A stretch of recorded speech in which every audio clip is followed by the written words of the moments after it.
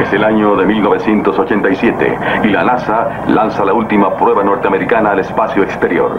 Por una falla, el Ranger tercero y su piloto, el capitán Bob Rogers, son lanzados fuera de su trayectoria a una órbita que congela sus sistemas de sobrevivencia y Bob Rogers es regresado a la Tierra 500 años más tarde.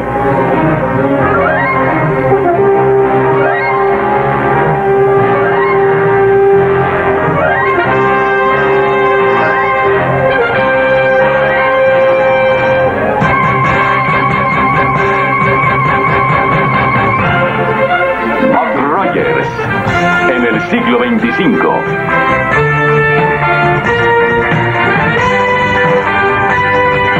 Protagonista, Gil Gerard.